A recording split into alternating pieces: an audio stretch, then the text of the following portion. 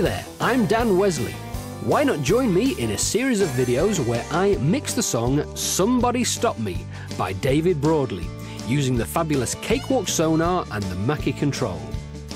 In over four hours of content, you'll see every step of the process, starting with the drums. From editing out the annoying spill in the tom mics to EQing the kick drum. From automating the send to create a snare ghost notes track to filtering the hat and overheads. Every step of the process is explained, including how I use the Mackie control to control both my mix and the plugins I use.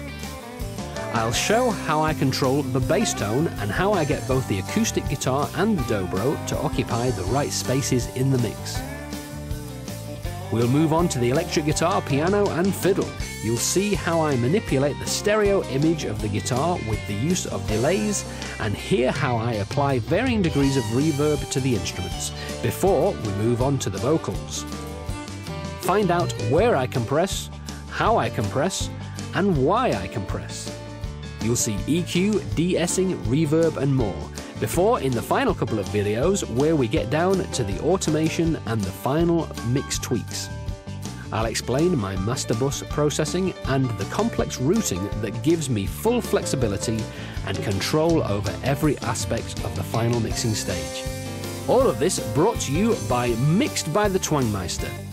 If you would like to have your tracks professionally mixed, then why not get them mixed by the Twangmeister? All the details are below, but first make sure you hit that subscribe button and settle back and see how I mix. Somebody stop me, please.